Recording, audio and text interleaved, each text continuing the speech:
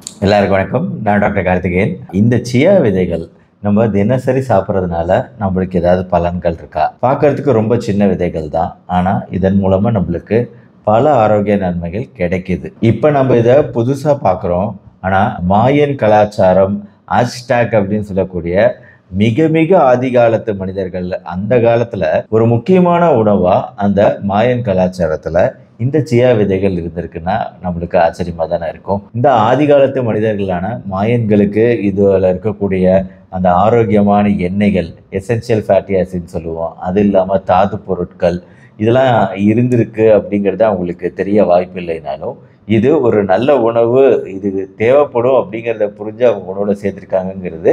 இந்த carbon dating analysis மூலமாக நம்மளுக்கு அந்த ஹிஸ்ட்ரி தெரிய வருது. அவங்க உணவு முறை குறித்த அந்த வரலாறு தெரிய வருது. அப்படிங்கும்போது இன்னைக்கு வந்து இந்த ஜியா விதைகள் குறித்து நம்ம கொஞ்சம் விரிவாக பார்ப்போம். இதோட நன்மைகள் என்ன அப்படின்ட்டு.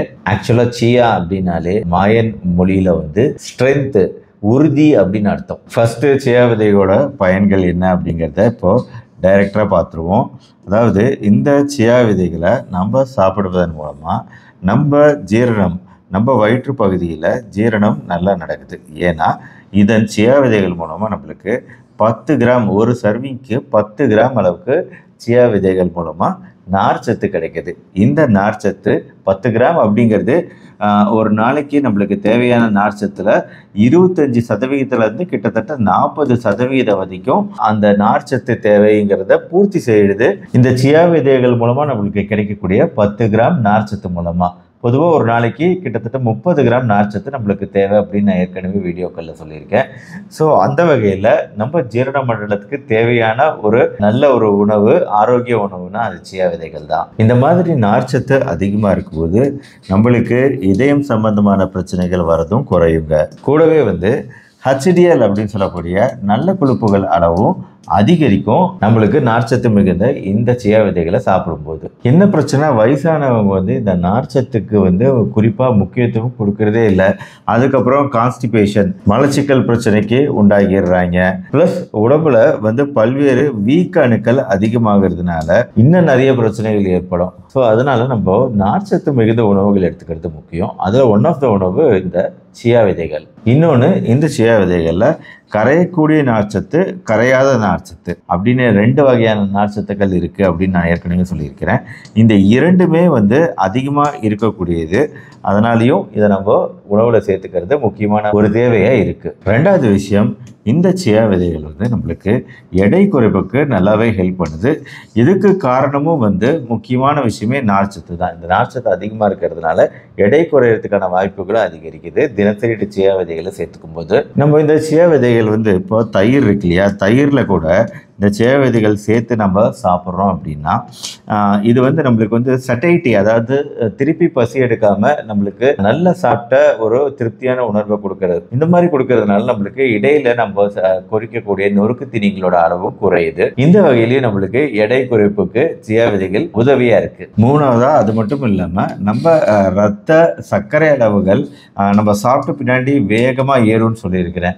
சல்லுன்னு ஏறும். அதுதான் ரொம்ப நம்ம குறைக்க வேண்டிய விஷயம். அப்படி ரத்த சர்க்கரை அளவுகள் சாப்பிட்ட பின்னாடி மிக வேகமாக ஏறுறதை தடுக்கக்கூடியது சியா விதைகள். ஜென்ரலாகவே எல்லாருமே இந்த ஒரு ப்ராப்பர்ட்டிக்காகவும் நம்ம டயட்டில் இந்த விதைகளை சேர்த்துக்கலாம். அடுத்து நாலாவது கண்டிப்பாக மிக மிக முக்கியமான விஷயங்கள் இந்த நாலாவது பாயிண்ட்ல இருக்குங்க.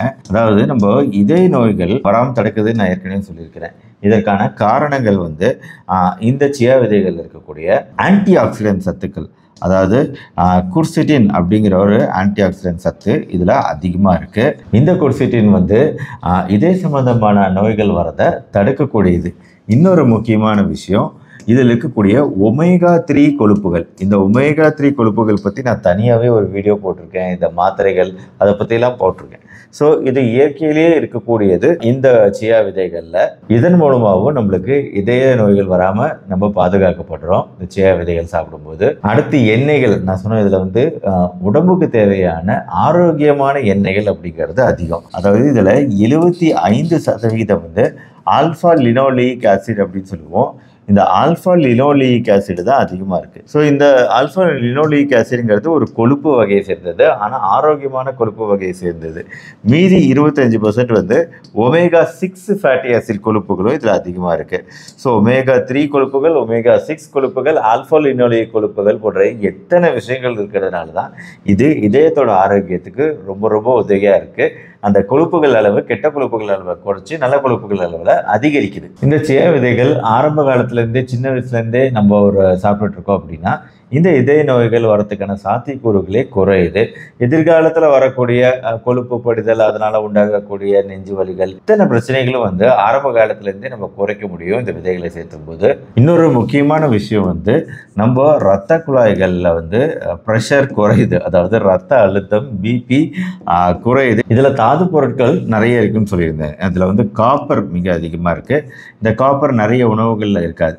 ஸோ இந்த உடம்புக்கு தேவையான இந்த பயாலாஜிக்கல் காப்பர் இதில் அதிகமாக இருக்கிறதுனால இதய நோய்கள் வராமல் நம்ம பாதுகாக்கப்படுறோம். இன்னொன்று இதில் இருக்கக்கூடிய இந்த ஆன்டி ஆக்சிடென்ட் சத்துக்கள் வந்து நம்மளுக்கு ஆக்சிடேட்டிவ் ஸ்ட்ரெஸ் அப்படிங்கிறது தான் ஒரு மிகப்பெரிய பிரச்சனை. இந்த ஆக்சிடேட்டிவ் ஸ்ட்ரெஸ் அளவுகளை குறைக்கிறதுனால தான் நம்மளுக்கு பல நன்மைகள் உண்டாகுது. நம்ம தோள்கள் ஆரோக்கியம் முதற்கொண்டு ஏஜிங் தோள்கள் சுருக்கம் விழுறது இதுக்கு காரணமும் ஃப்ரீ ரேடிக்கல் டேமேஜ் சொல்லிட்டு ஆக்சிடேட்டிவ் ஸ்ட்ரெஸ்னால தான்.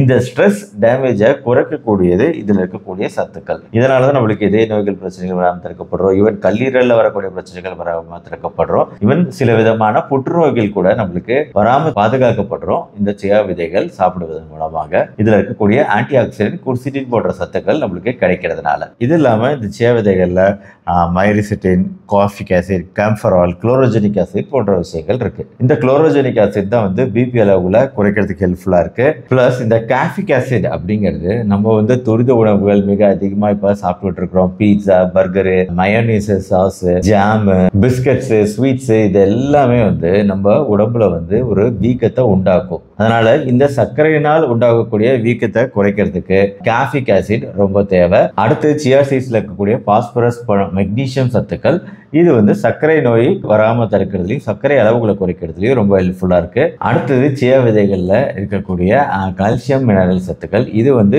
எலும்புகளோட உறுதிக்கு ரொம்ப ஹெல்ப்ஃபுல்லாக இருக்குது ஆக மொத்தம் இந்த சியா விதைகள் சாதாரணமாக எலுமிச்சம்பழ ஜூஸ் இருக்குது பார்த்தீங்களா அந்த ஜூஸில் வந்து இந்த சியா விதைகள் போட்டு ஒரே ஒரு ஸ்பூன் போட்டு குடிக்கிறதுனாலேயே நம்மளுக்கு இது வரைக்கும் நான் சொன்ன பல நன்மைகள் நம்மளுக்கு கிடைக்குது. இதில் சில விஷயங்களுக்கு வந்து ஃபுல்லாக பூரணமான எவிடன்ஸு அதாவது எக்ஸ்பெரிமெண்டல் எவிடன்ஸு சில விஷயங்களுக்கு கம்மி கம்மியாக இருக்கலாம் சில விஷயங்களுக்கு அதிகமா இருக்கு. எப்படி இருந்தாலும் இது நம்மளுக்கு உடம்புக்கு எந்த வித டேமேஜும் பண்ண போறது நன்மை தான் தரப்போகுது அப்படிங்கிறதுனால வாய்ப்பு இருக்கிறவங்க சியா விதைகளை இந்த மாதிரி அவங்க உணவுல சேர்த்துக்கிறத ஒரு பழக்கமா வச்சுக்கிட்டா நல்லா இருக்கும். எந்த உணவுல வேணாலும் இதை ஆட் பண்ணீங்கன்னா இது இருக்கிறதே தெரியாது. ஆனா நம்மளுக்கு ஹெல்த் ஆரோக்கிய பெனிஃபிட்ஸ் கிடைச்சிடும் ஸோ சியா விதைகள் கொடுத்த இந்த வீடியோ உங்களுக்கு பிடிச்சிருந்துச்சுன்னு லைக் பண்ணுங்க. உங்க ஃப்ரெண்ட்ஸ் அண்ட் ரிலேட்டிவ்ஸ்க்கு ஷேர் பண்ணுங்க. நம்ம சொல்ல டாக்டர் கார்த்திகேயன் இதற்கு சப்ஸ்கிரைப் பண்ணலாம் சப்ஸ்கிரைப் பண்ணி அந்த பெல் ஐக்கான் கிளிக் பண்ணி வச்சுக்கோங்க. அடுத்தடுத்த வீடியோக்கள் பார்க்க மறுபடியும் நாளைக்கு பார்ப்போம். நன்றி வணக்கம்.